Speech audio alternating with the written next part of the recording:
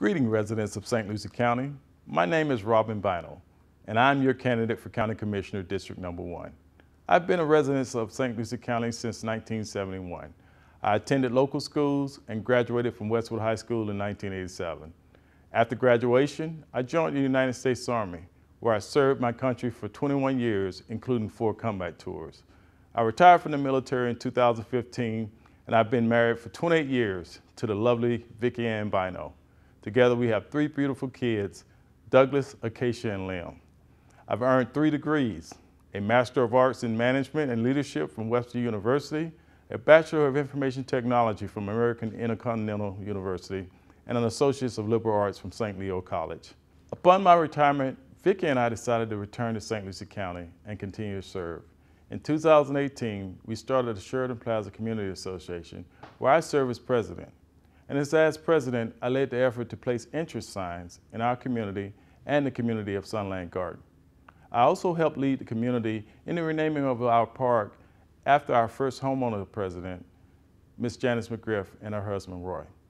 I am a member of the Community Economic Development Strategy of the Treasure Coast, where I serve as second chair, a member of the American Legion, and an active partner with Restoring the Village.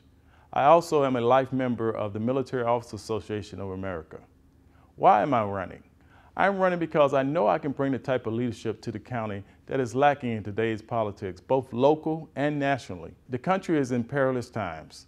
Leadership is critical in moments like this and vital in the days ahead. I've seen the progress that has been made in St. Lucie County, and I've also seen areas that have remained the same. I believe government works best when it works for all of its residents. I will restore trust and lead by example. My first priority will be to gain the trust and confidence of the four other commissioners. This will allow us to lead the county forward in a joint effort to make St. Lucie County the best county on the Treasure Coast. Exercising fiscal responsibility, spending the taxpayer money wisely, this will restore confidence in the government as residents see a return on their investments.